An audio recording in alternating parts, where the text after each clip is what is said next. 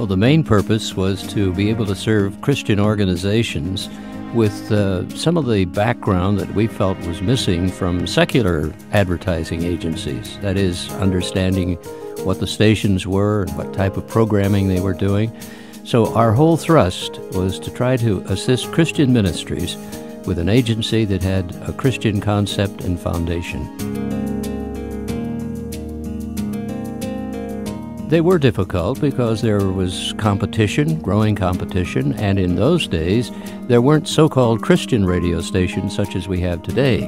The stations were operated with specific programming, uh, much the same as it would have been probably 40 or 50 years ago, and uh, Christian stations really didn't come on the market until much later.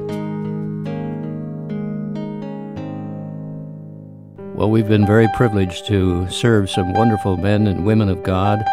I think primarily of our pastor, Chuck Swindoll. He was the one that really opened the floodgates for us to be able to see the agency develop fully. And then, of course, uh, Dr. James Dobson and the relationship that we enjoyed with him, and so many others down through the years. It's been a great privilege, I can assure you.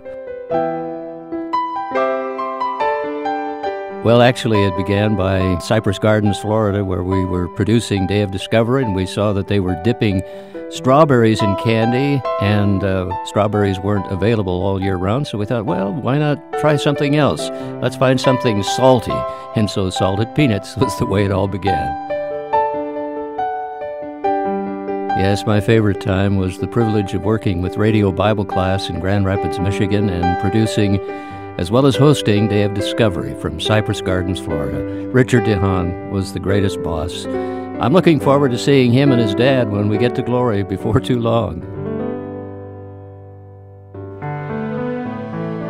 Well, the first uh, instrument we worked with was a wire recorder, and to try to make edits on a wire recorder was not very easy. We had to make actually knots in the wire. But since then, so many things have developed it goes so fast that uh, who knows what's going to be next. I'm just glad that we can be on the cutting edge.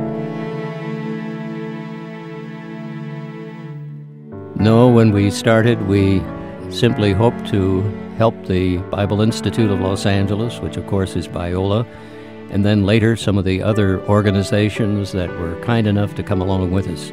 We had no idea that it would develop to the stage that it has today and we're looking forward to the future, even though there are a lot of question marks about the economy.